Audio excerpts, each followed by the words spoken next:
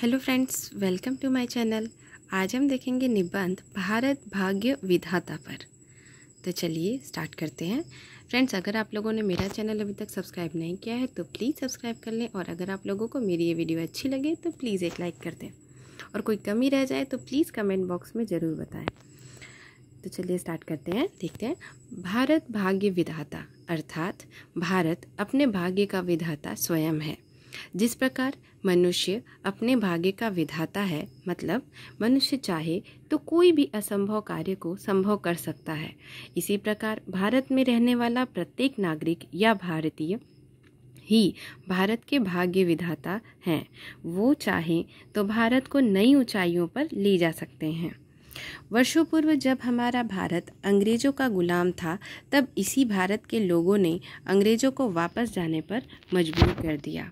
इससे यह सिद्ध होता है कि भारत का प्रत्येक नागरिक इसके भाग्य का विधाता है।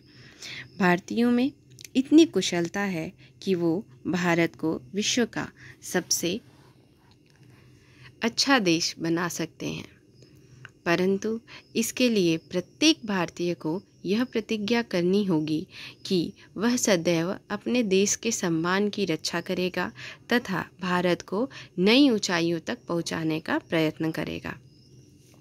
प्रत्येक भारतीय को चाहिए कि वह किसी भी देश में रहे, परंतु वहाँ भी वह अपने देश के सम्मान तथा उन्नति के लिए अग्रसर रहे।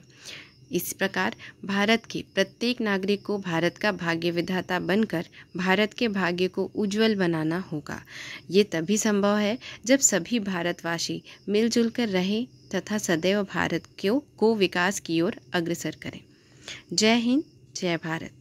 Thank you friends thank you for watching my video अगर आप लोगों को मेरी ये वीडियो अच्छी लगी हो तो प्लीज़ एक लाइक कर दें। और अगर कोई कमी रह गई हो तो प्लीज़ मुझे बताएँ।